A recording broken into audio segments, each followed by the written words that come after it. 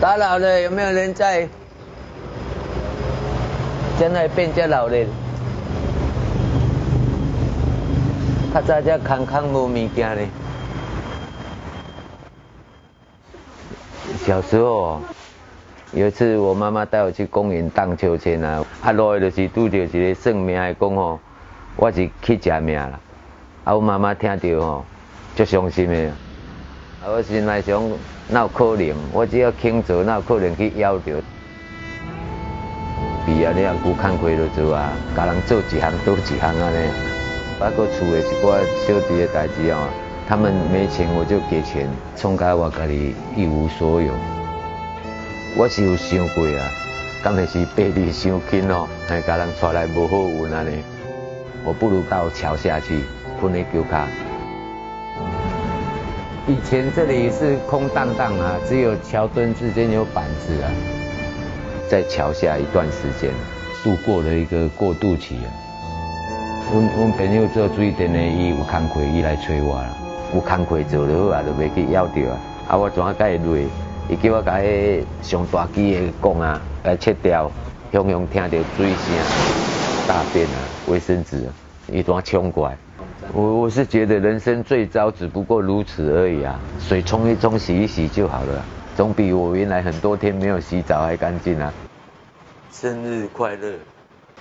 那个老板，伊感觉比以前的师傅卡手较紧啊，尾啊的石头伊拢叫我对伊去做，啊，就是因为这个才去熟悉刘某啦。老公，我回家了。好，我来了。那时候什么都不敢想，不敢奢求了。我觉得人家是仙女，我根本攀不上去。他在我的地住的地方修马桶，他给我第一眼的感觉，你有看过水电工吗？他就是一般水电工的的装扮啊，就是吊嘎、蓬头垢面的这样子，所所以你根本不会觉得他会是你生命中的某个人。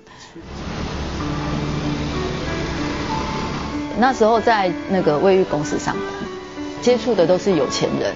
看多了很多的有钱人，其实他们好像也不是很满意他们的现状。你都已经这么有钱了，为什么你还这么不满足？对，所以我会觉得说那个生活不是我想要的。因为他在我们家修马桶实在是修太久了，我没有做卫浴设备的时候，我就去做保险。那我就干脆卖你保险好了，变成他是我的客户，讲话的机会就比较多。后来又觉得说他做事不管是自己的还是别人的，他都很用心。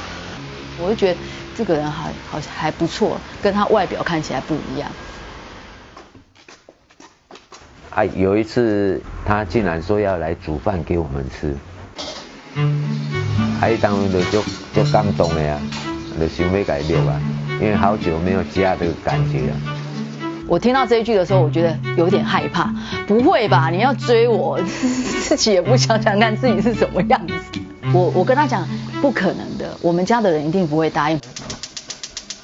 最后其实是因为他对你啦，就是真的是那种无微不至，又开始了解他为什么他会这么落魄，然后产生了一点同情心。有漂亮？哦，好漂亮哦！我老婆好漂亮哦。那时候是呃决定要跟他交往，你还是要让你家里知道你现在跟谁。其实我爸我妈他们一天到晚跟你讲，你要眼睛要大一点。南部人都这样，舍不得你，然后心疼你，可是他讲出来的话一定不是很好听。尤其是我爸，因为我爸很疼我，他觉得一个好好的女儿，你把她搞成这样，他明明就是可以很好命的。就是买了。第一次去他家，他爸爸是跟我讲。他他是他的掌上明珠，我没有钱，没有房子，什么都都都没有，他要怎么放心把他女儿交给我？那个时候才知道，原来他们有很多大老板啊、有钱人啊都要娶她，啊，我算一算是里面最糟的。先看的是印象是无介好的，我凭良心讲话啦。迄个阿伯阿姆啦哈，恁查囝真正有给我，我一定拍拼，我嘛袂互你浪费。所以那一两年我很拼，那个时候也是我刚开始跑一些菜市场，早上跑一场，黄昏再跑黄昏市场，晚上再跑夜市，一天做三场。讲起来就是拄到一个贵人啊，手头有足多以前的铁饼，叫我先摕去卖看卖，啊，佮教我安怎处理这卡饼。因为当阵大家袂使接受铁锅生锈的事情，客人有疑惑，我就尽量去找证据。我除了从制作的方式改变啊，改进它成型的方式啊，还有它的原料啊，中钢有更好的铁哦，我就用更好的铁。我是认为原料贵一点没关系，品质好一点就好，让客人好用，会一个介绍一个。那时候刚好雅虎拍卖刚成立，然后我就开始去研究怎么上网。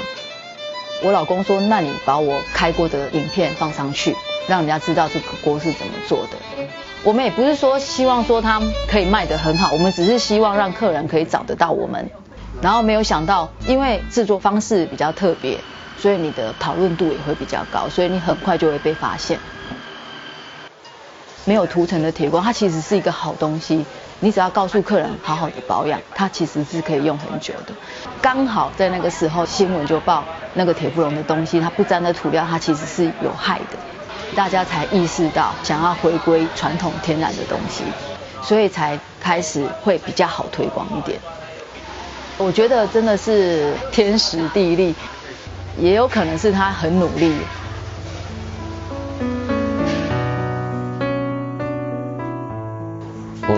阿妈讲，人在做，天在看，自然会有贵人相助啦。